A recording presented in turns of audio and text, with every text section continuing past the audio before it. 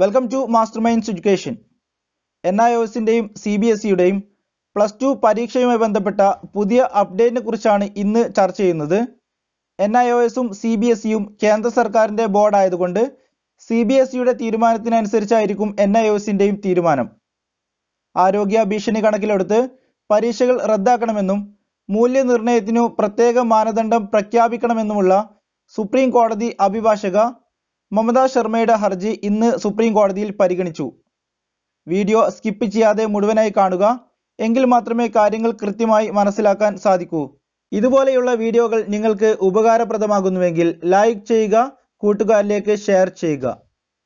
ഈ വീഡിയോ കാണുന്ന ആരെങ്കിലും നമ്മുടെ യൂട്യൂബ് ചാനൽ സബ്സ്ക്രൈബ് ചെയ്യാത്തവരുണ്ടെങ്കിൽ സബ്സ്ക്രൈബ് ചെയ്യുക തൊട്ടടുത്തുള്ള ബെല്ലൈക്കണും എനാബിൾ ചെയ്യുക. എങ്കിൽ മാത്രമേ നമ്മൾ പോസ്റ്റ് ചെയ്യുന്ന വീഡിയോകളുടെ നോട്ടിഫിക്കേഷൻ കൃത്യമായി ലഭിക്കുകയുള്ളൂ. എല്ലാവരും ആകാംക്ഷയോടെ കാത്തിരിക്കുകയാണ് ഇന്നത്തെ സുപ്രീം കോടതി വിധി. പ്ലസ് ടു പരീക്ഷ സംബന്ധിച്ച് തീരുമാനമെടുക്കാൻ കേന്ദ്ര സർക്കാരിന് രണ്ട് ദിവസം അനുവദിച്ചിരിക്കുകയാണ്. കേസ് വ്യാഴാഴ്ചയിലേക്ക് മാറ്റിവെച്ചു. കഴിഞ്ഞ വർഷത്തെ പോലെ ക്യാൻസൽ ചെയ്യുന്നില്ലെങ്കിൽ അഥവാ പരീക്ഷയുമായി മുന്നോട്ട് പോവുകയാണെങ്കിൽ കൃത്യമായ കാരണങ്ങൾ ബോധിപ്പിക്കേണ്ടതുണ്ട്. ഈ കേസ് വ്യാഴാഴ്ച വീണ്ടും പരിഗണിക്കും.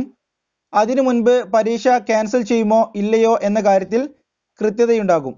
തീരുമാനമായില്ലെങ്കിൽ സുപ്രീം കോടതി ക്യാൻസൽ ചെയ്യാൻ ആവശ്യപ്പെടാൻ സാധ്യതയുണ്ട്. എന്നാൽ പരീക്ഷയുമായി മുന്നോട്ട് പോവാനാണ് തീരുമാനമെങ്കിൽ പരീക്ഷ എങ്ങനെ നടത്തുമെന്നും വിദ്യാർത്ഥികളുടെ ആരോഗ്യം സംരക്ഷിക്കപ്പെടുമെന്നും പരീക്ഷയുടെ നടത്തിപ്പ് സംബന്ധിച്ച് കൃത്യമായി വിശദീകരിക്കേണ്ടതുണ്ട്.